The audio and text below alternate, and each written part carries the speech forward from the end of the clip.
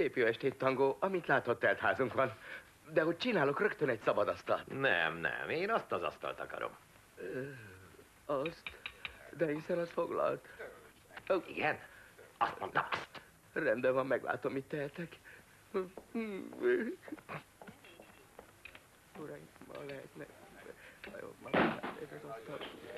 Legyenek belátással, ha lehetne. Kérem önöket. Na de mi történt? Csak az, kedves kuzin, hogy ezeknek a kis ördögöknek épp a mi asztalunk kell. De a tulajdonos úgy véli, ez csak ürügy valami csalefintaságra. Nekem úgy tűnik, ez az úr a legnagyobb kópé. Az emberek rettegnek tőle.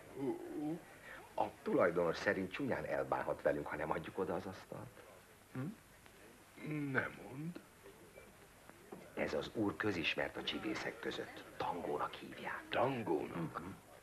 Az a tény, kedves kuzin, hogy a mi kis kópénk tangónak hívja magát a Szamba országában, rögtön megvilágosítja számunkra, hogy mekkora nagyság fel.